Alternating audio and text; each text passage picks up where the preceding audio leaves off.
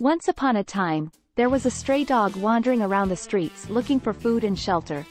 He was a scruffy little mutt with a matted brown coat and big brown eyes that spoke volumes about all the hardships he had faced in his life. One day, the dog came across a family home and decided to make himself comfortable in the front yard. The family saw him and took pity on him, so they brought him some leftover scraps from their dinner. The dog wolfed it down eagerly, and then curled up under a bush to sleep.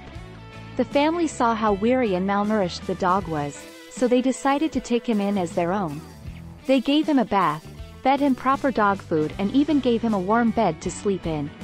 The dog was overjoyed and felt like he'd hit the jackpot. Days turned into weeks, and the dog quickly became a cherished member of the family. They named him Rusty, and he repaid them with all the love and loyalty a dog could give. He followed them around everywhere, wagging his tail happily at every turn. Rusty became the perfect companion for the children in the family.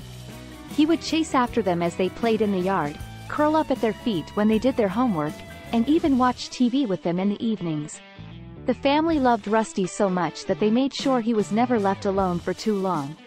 They even took him on long walks and trips to the park so he could socialize with other dogs.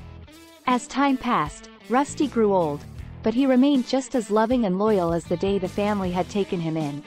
Even when his hearing and vision began to fade, he could still sense the love around him and respond with his own sweet nuzzles and snuggles.